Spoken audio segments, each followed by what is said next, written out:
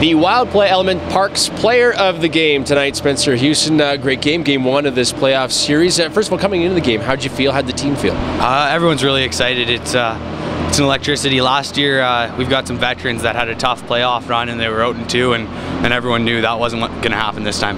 Your coach preaching the first eight minutes. How do you think you did in the first eight minutes? Um, we couldn't have done much more. Was it was it Yeah. two or three nothing in the first eight?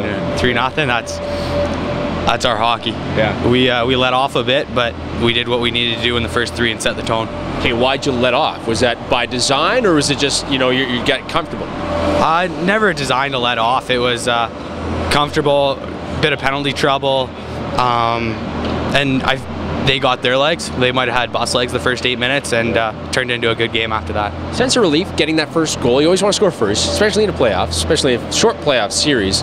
Did you feel even yourself? Okay, relax, get into the zone.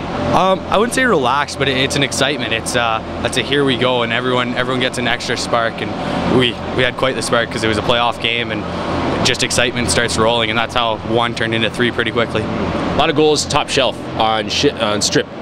By design, did you guys know that? Just scouting him? Uh, he, he's a southpaw goalie, so he catches with his right hand, and that just gives shooters a different look. Yeah. And um, me being a right-handed shot, it's uh, I always like to go low blocker sort of thing, and now that's his glove hand side, and, and I'd rather go high glove than low glove, and just how it worked out. Talk about your goals. Did you know they were in? Um, I was pretty lucky. Both were pretty wide open shots. My line mates did a great job.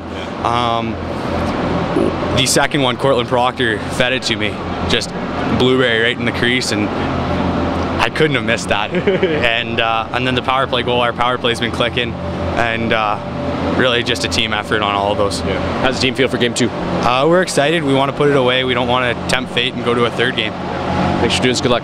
Thank you. Spencer Hewson, he is tonight's Wild Play Elements Player of the Game.